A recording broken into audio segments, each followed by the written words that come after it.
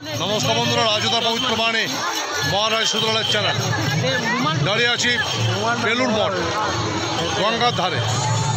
আজকে যে ভিডিওর টপিক সেটা হচ্ছে, যদি ব্যবসায় উন্নতি চাইছেন বা যদি ঘরে অর্থ সম্পদ বৃদ্ধি করতে চাইছেন, তাহলে যখন জোয়ার আসবে, সেই জোয়ারের জল অবশ্যই বাড়ি নিয়ে যাবেন।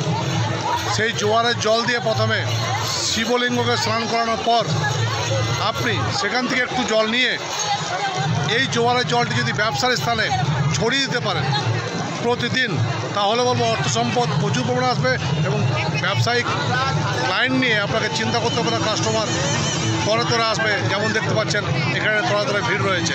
জয় গুরু বামদেব, জয় মাতারা সকলে ভালো থাকবেন। রাজু তার পবিত্র বাণী, মহারাজ সুদুলালের চ্যানেল।